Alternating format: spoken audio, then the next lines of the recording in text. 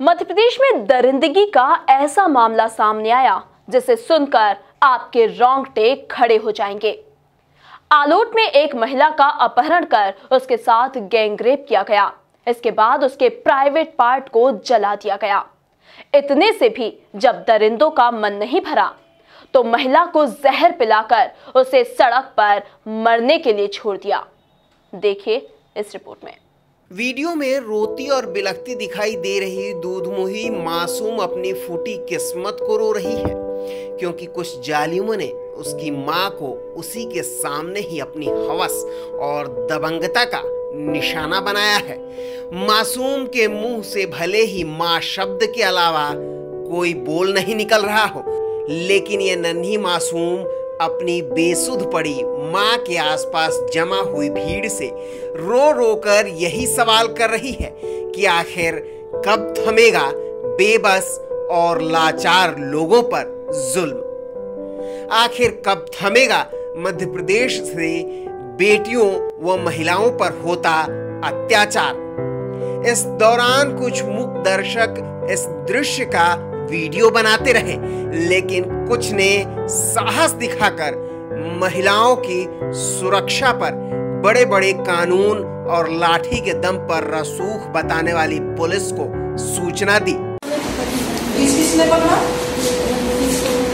करण सिंह ये क्या लगता है?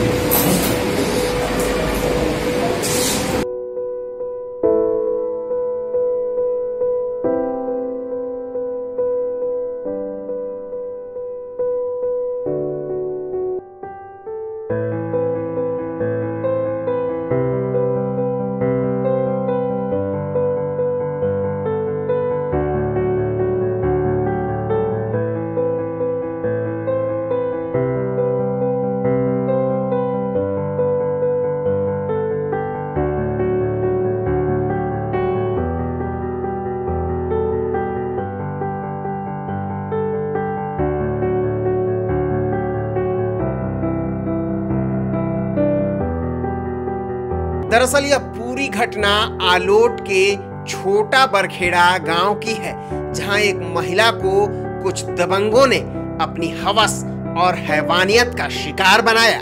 क्योंकि ये लोग महिला से किसी मामले को लेकर राजीनामा करवाना चाहते थे। लिहाजा महिला जब दर्जी के यहाँ कपड़े सिलवाने जा रही थी, तब मौका देख जालिमों ने उसका अपहरण कर लिया। फिर राजीनामे का दबाव बनाने के लिए ये टूट पड़े महिला पर और अपनी हैवानियत का शिकार बनाया। महिला के साथ गैंगरेप करने के बाद भी जब इनका मन नहीं भरा तो इन जालिमों ने महिला के प्राइवेट पार्ट को बीड़ी से जलाकर इससे पॉइजन पिला दिया, फिर छोड़ दिया चौराहे पर मरने के लिए। महिला के साथ ये दरिंदगी होते उसकी दूध मुही बच्ची देखती रही। उन औरत के नाम का क्या रिश्ता है? मेरे कोर्ट शादी हुई था कि तीन महीने चार महीने पहले। हाँ लव मैरिज कर किसने पिलाया? सामने वाले ने पिलाया जिसने मेरा पैर तोड़ा उसी ने पिलाया। विक्रम सिंह करण सिंह और लक्ष्मण सिंह राहुल सिंह शंकर सिंह इन लोगों ने पिलाया। ये वहाँ कायते के बरखेड़े गए और एक दो जने हनुमंते गए। हमें मालूम नहीं नहीं हम तो ये तो इनकी पियर रह रही थी जी। के हनुमंते रह रही थी हमें मालूम भी नहीं ये तो कल की निकली हुई थी। हमें तो मालूम भी नहीं अभी यहाँ फ़ोन आया।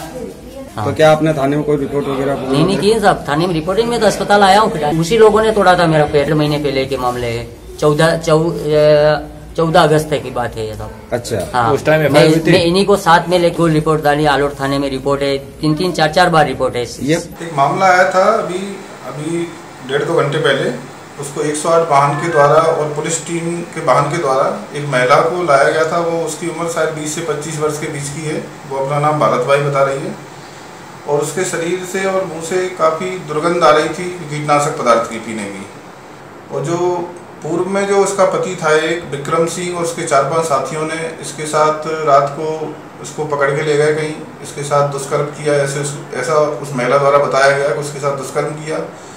उसकी जांघों पर भी निशान देखे तो उसके बीड़ियों से जले हुए कम सात आठ दोनों जांघों पर बीड़ियों से जले हुए निशान भी थे। और महिला काफ़ी आहत और वो एक डरी हुई और सहमी हुई है और उसके एक बच्ची भी है साथ में छोटी, तीन तीन साल के आसपास की एक छोटी बच्ची भी साथ में है। अभी उसका प्राथमिक उपचार कर दिया गया है और महिला अभी ठीक है, बोलने चालने की स्थिति में है। बुरी तरह घायल महिला को अस्पताल पहुँचाया गया।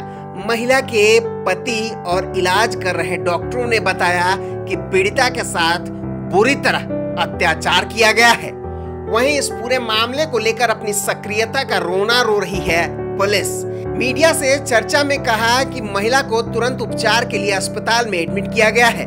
फ़िलहाल महिला स्वस्थ है, लेकिन जब मीडिया ने महिला से चर्चा की तो उस ज़ुबान पर अत्याचार का दर्द साफ़ झलक रहा था। आज रामगढ़ गाँव से फ़ोन आया कि मैडम, यहाँ पे एक महिला पाइजन पी हुई है और गंभीर अवस्था में पड़ी है। तो तत्काल मौके पे गए, वहाँ से उसको उठा के लाए और हॉस्पिटल में एडमिट करवाया उसको। और महिला से चर्चा करते, पूछताछ करते उसने बताया कि पिपलिया थाना बरखेड़ा गाँव की रहने वाली है। और वहाँ ये दर्जी के यहाँ कपड़े सिलवाने जा रही थी तो बीच रास्ते से उसको वहाँ से अपहरण किया। अपहरण करके रास्ते में उसके साथ काफ़ी मारपीट करते हुए उसको खाचरोद के रेवड़ी गाँव में ले गए। वहाँ पे अभी राजीनामा पे दब- दबाव बना के उसको राजीनामा करवाने की कोशिश की। उसने मना कर दिया कि मैं यहाँ नहीं करूँगी, मैं कोर्ट में करूँगी। तो उसके साथ मारपीट की और वापस पिपलिया गाँव में लाना बता रही है ससुराल में। वहाँ पे लाके उसके साथ दो लोगों द्वारा बलात्कार करना बताया, राहुल और विक्रम सिंह के द्वारा। और गुप्तांग पे जले हुए निशान भी है उस पर और फिर पाईजन कहाँ पिलाया ये उसको होश नहीं है। और यही बता रही है कि मुझे कहाँ फेंका है क्या हुआ मेरे साथ कुछ नहीं मालूम। बरकड़ा से आए जीप में बैठ लाया मैंने। हाँ। मैंने कहा दवा पाई उन्होंने मालूम नहीं है मैंने। पकड़ी जाती तो उल्टी दवा कूट जी मैंने हाँ। के बयान नहीं देती है दवाई पिला दो इसको। और क्या फेंकी वही मालूम करना। ये मैं पैर तोड़ा ना बिट्टू सिंह का। अच्छा। ये मैं इसने मेरे रप में साथ में थी इसका पैर तोड़ा उन्होंने। एक का तो विक्रम सिंह हाँ। एक का करण सिंह लक्ष्मण सिंह राहुल सिंह जिला भाई। हाँ पूरा दिन भर ही रखा इसने। हाँ। ने रात ही रखी। ने सुबह का आके रात में मैंने बाल जी जान पेशाब की जगह सब जगह बाल रखे। अच्छा। इसने ने फिर इसको बोला कि नहीं बिहार नहीं पटला गया तो इसको जेल पिला के फेंक दो तो मर जाएगा।